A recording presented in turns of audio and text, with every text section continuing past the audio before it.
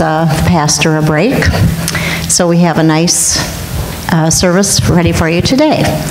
Uh, Before we start, I would like to um, invite all of you to stay after church and help turn this uh, sanctuary into a cave, because tomorrow, we begin Bible school at uh, 6:15 tomorrow night, and we have to have it all decorated and ready to go, and it'll be a lot of fun, so if you can stay and help, that'd be wonderful. The more hands we have, the less time it'll take. Okay, uh, and before we begin, I have a presentation to make today. We, uh, the women, choose a woman in our church who has just done all kinds of wonderful things for the church. And the woman we've chosen today really ha- is always ready to volunteer. She works really hard. Um,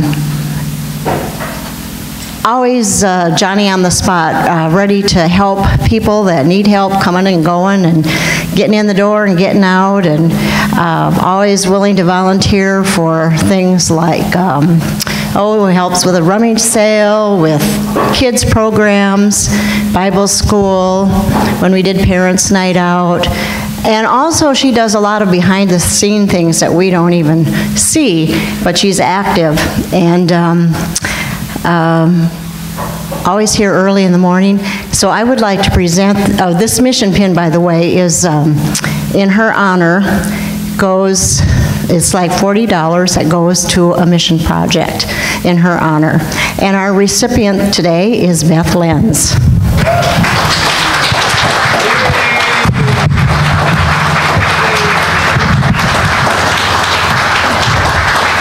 And we, we hope that God will forgive us because Beth comes to our meetings and we had to kind of do it behind the scenes and we had to lie and tell her we weren't doing it this year.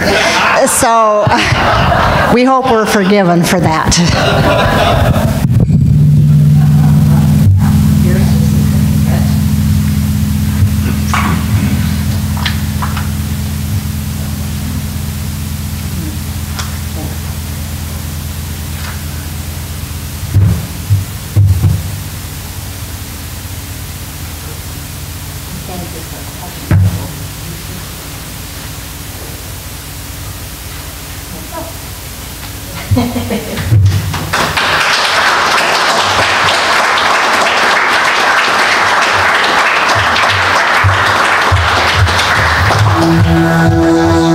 Tongues of human beings and of angels, but I don't have love. I'm a clanging gong or a clashing cymbal. If I have the gift of prophecy, and I know all the mysteries and everything else, and if I have such complete faith that I can move mountains, but I don't have love, I'm nothing.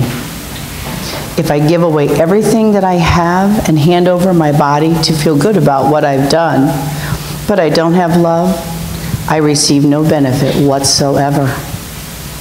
Love is patient. Love is kind. It isn't jealous. It doesn't brag. It isn't arrogant. It isn't rude. It doesn't speak in its own advantage. It isn't irritable. It doesn't keep a record of complaints. It isn't happy with injustice, but it is happy with the truth. Love puts up with all things, trusts in all things, hopes for all things, endures all things. Love never fails. As for prophecies, they will be brought to an end. As for tongues, they will stop. As for knowledge, it will be brought to an end. We know in part, and we prophesy in part. But when the perfect comes, what is partial will be brought to an end. When I was a child, I used to speak like a child, reason like a child, think like a child. But now I have become a man. I've put an end to childish things. Now we see a reflection in a mirror. Then we will see face to face. Now I know partially, but then I will know completely in the same way that I have been completely known. Now faith, hope, and love remain. These three things. And the greatest of these is love. So ends the reading of God's holy word.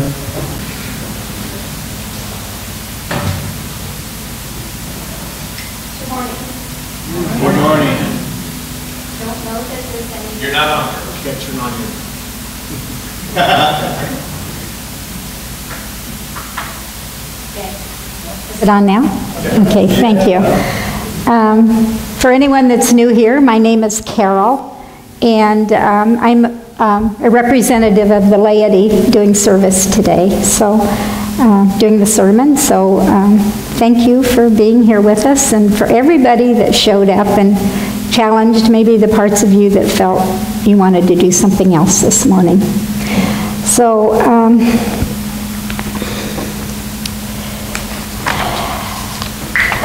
Um, I'm going to start by reading the greatest commandment from Mark 28 through 30. One of the teachers of the law came and heard them debating.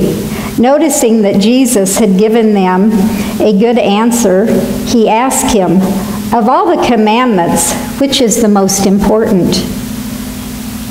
The most important one, Jesus answered, is this Hear, O Israel, the Lord our God, the Lord is one.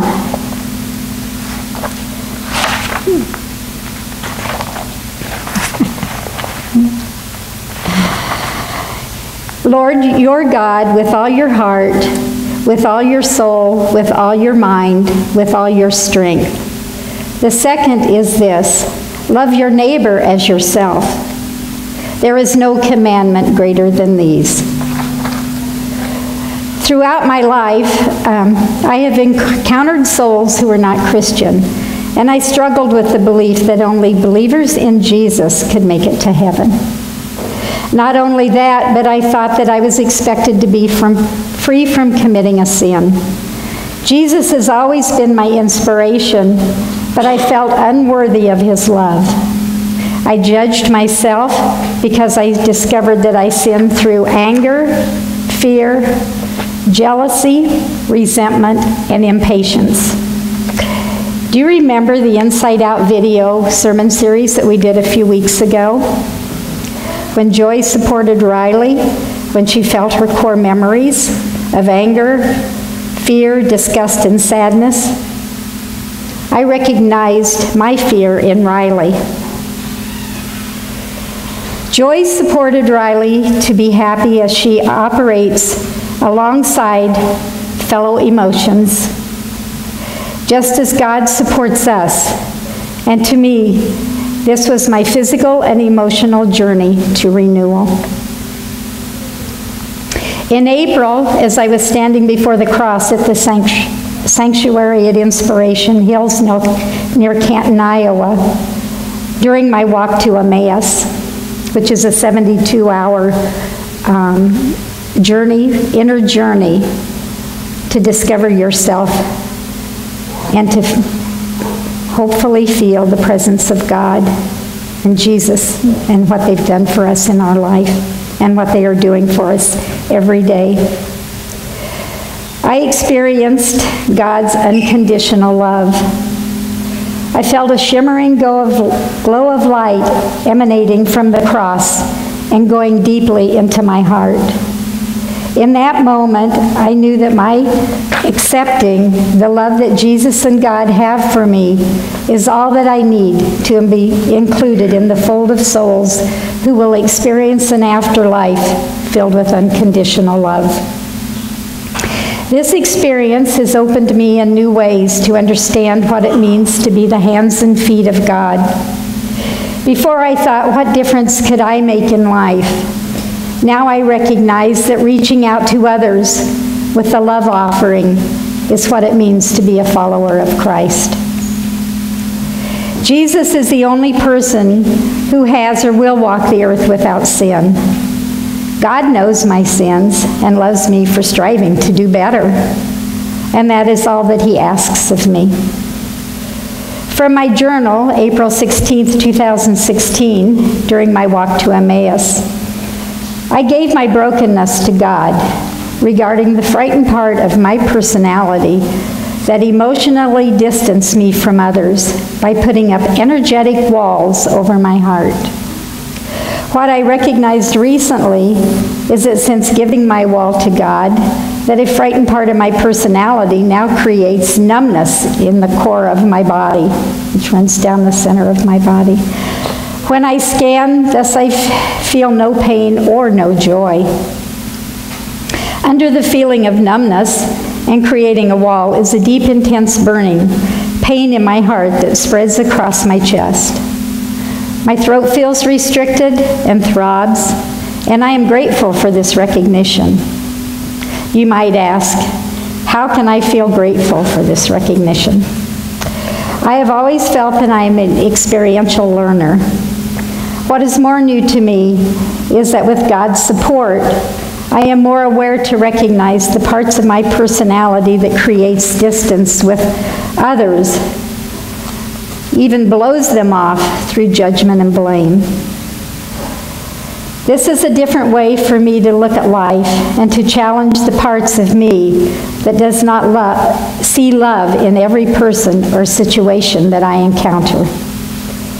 As the Serenity Prayer reminds me, God grant me acceptance for things I cannot change, the courage to change the things I can, and grant me the wisdom to know the difference.